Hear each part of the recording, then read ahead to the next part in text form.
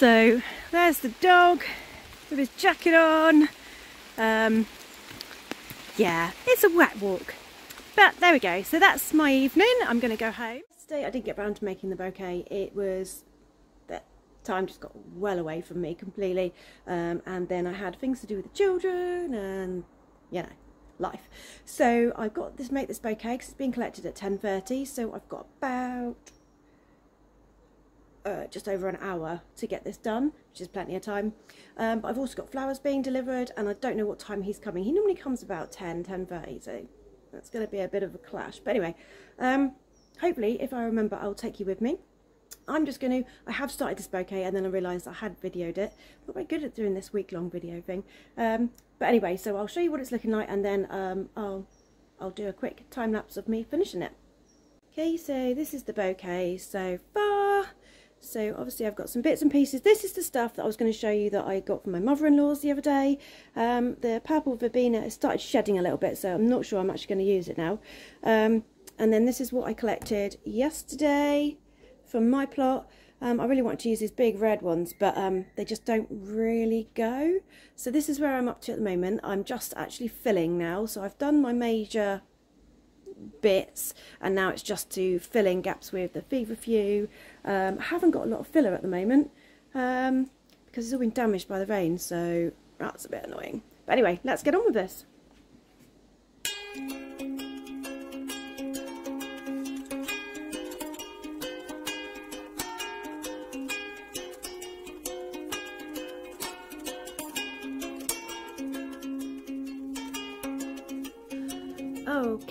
So I think we are done. So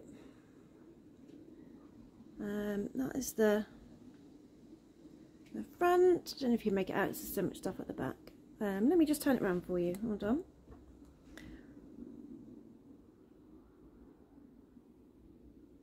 Right. So this is the front, and then as we go round, it's still got interest all the way round but my bouquets are all designed to be seen from all directions but I always have a front and a back. So that is the front. So that's that one done. Okay. So what I've got need all I need to do now is put the care card with this. So I've got a care card that just says you know snip the ends off um, keep them out of direct sunlight um, blah blah blah that sort of thing. Um, so I always put a care card with it. It's also got my uh, um, all my details on it, stating that I do weddings, uh, funerals, events. Make sure you always put something like that in um, because then if this is given as a gift and they think, wow, what beautiful flowers, at least they know where they've come from and so if they want to order flowers again, they'll come to you. Um, so I always make sure I put a card in. It'll hang just here and it's really nice and it matches the boxes. Um, so I'll do that in a second. Um, and then I'm just, what are we on? It is 20 to 10, so um, I'm just waiting for the guy, the delivery guy, to bring my flowers. Um, then I, this after, so once they're here, I'll show you the flowers, and then we'll get those conditioned. And this afternoon, I may well get on with doing the uh, table posies because they're all going to be in water. If I do them today, it's one less thing I have to do tomorrow. Um, and then they can sit in water in the shed, and hopefully they'll all be okay. So um, yeah, I'm thinking I might do that today. Right, let's get on. Okay, so the delivery is here. Um, I've actually had two deliveries. Um, so I've had the delivery from the wholesaler and I've also had a delivery from a lovely lady who is supplying me with flowers. So she is a flower farmer herself um, and she, I, I sort of reached out to her to see if she had any flowers um, and she has brought, I'm just looking at them, they're so gorgeous. She's brought some lovely flowers. So let me show you what she's brought.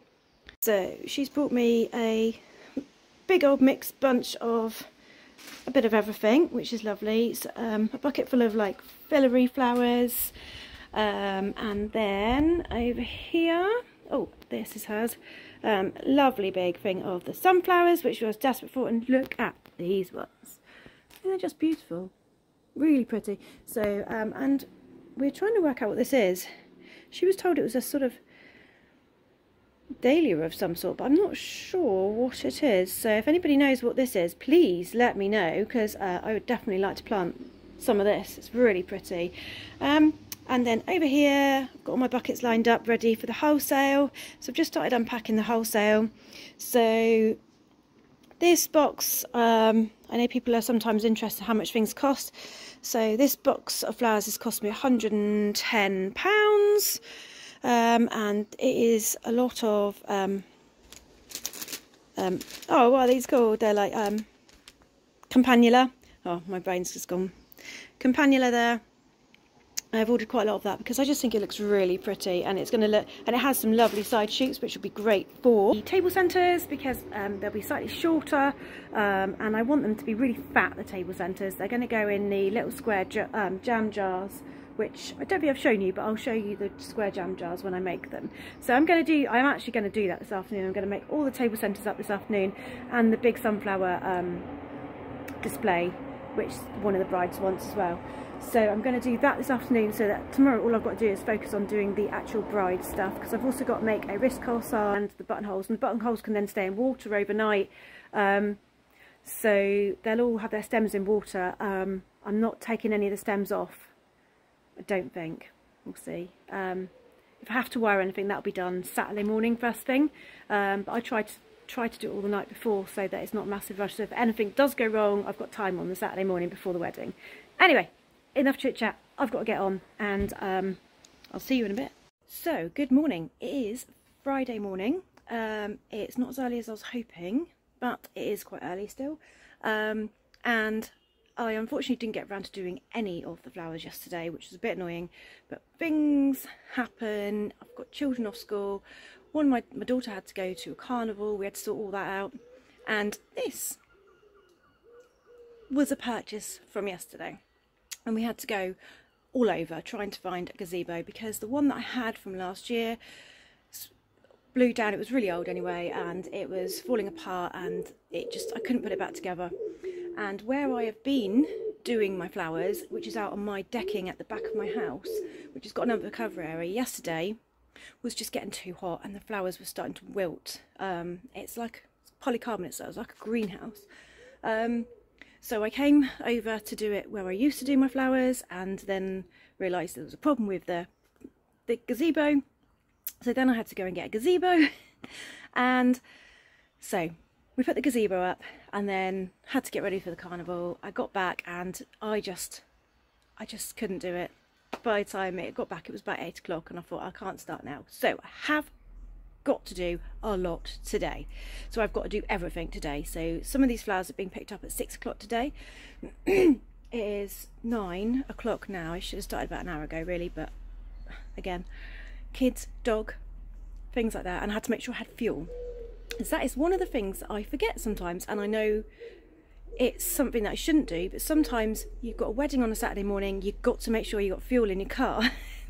so this morning I thought I'd go and get the fuel because I knew it was running low. So I've done that. Anyway, let me show you all my beautiful flowers all laid out, ready for me to get doing. Um, and I'll show you my purchase. It's really cheap. Don't expect anything. This is part of my old gazebo, which I've used as a side because the sun was coming in this way a minute ago, but it looks like it's going to rain again. So I'll show you, turn you around and I'll show you what I've got here. So this is my new setup. Um, I actually really like it here and it's going to be easier to sweep because the floor isn't got the grooves like the decking has and also it's away from the house a bit as well so it's not far from the house but it's away. Um, so this is going to be good. Um, obviously this is going to come down once this wedding's done. I just needed somewhere to put the, the flowers out of the rain but not somewhere really hot. So that was where I used to do it and you can see this was the old gazebo frame but it's all fallen down and rusted because it's super old so um, I think it's about nearly 10 years old and had it. So I put this sail up the other day when I was doing a wedding, but it just wasn't enough cover. So that's why we got the gazebo. Um, so let's have a look. So I've laid all the flowers out, so I'll be stood in the middle. And so the flowers are all around me here, so I don't have to move very far because the last thing you want to be doing is moving left, right, all over. And as I said before, I do arrange from the buckets. I don't lay it out flat when I'm doing this sort of thing because um, bridal work can sometimes take a while, a while and you don't want the flowers out of water for too long.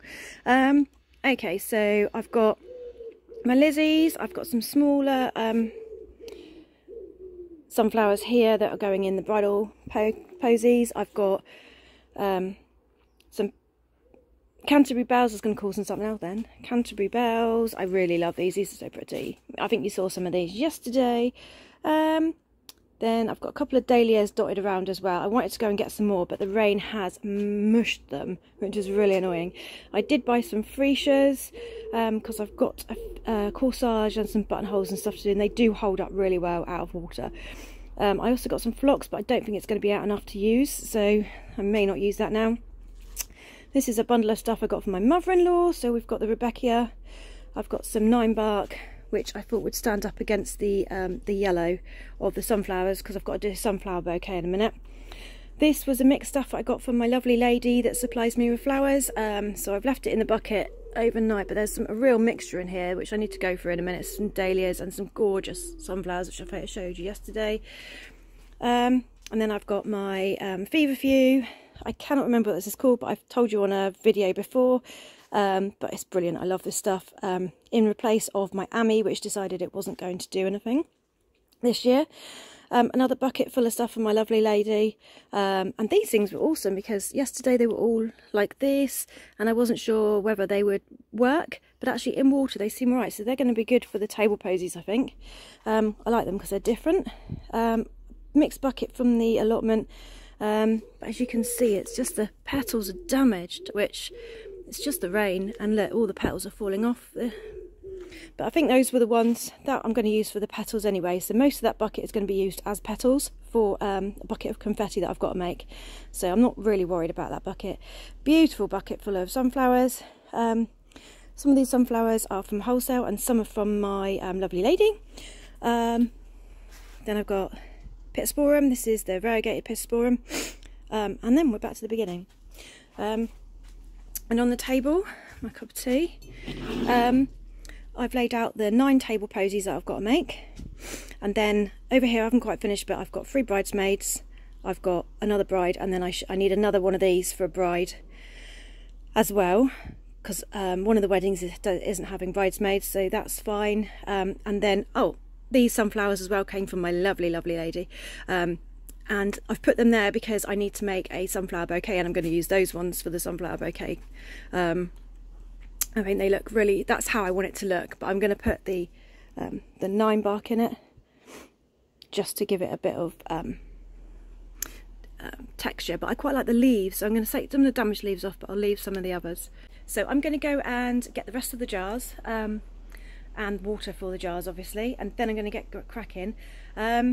I will try and show you some of the process, but I need to be quick today, real quick. So I'll probably get some of the bride stuff, show you the brides, do the bridesmaids, show you the bridesmaids, do the posies, do the posies. Um, so I will say though that I do things my way. So I know a lot of people would do table centres and all that first and then leave the bride till last, but I like to do the brides first so that they get the first pick of all the best flowers I've got here um, because it's their day, they're the most important, so the brides need to be done first.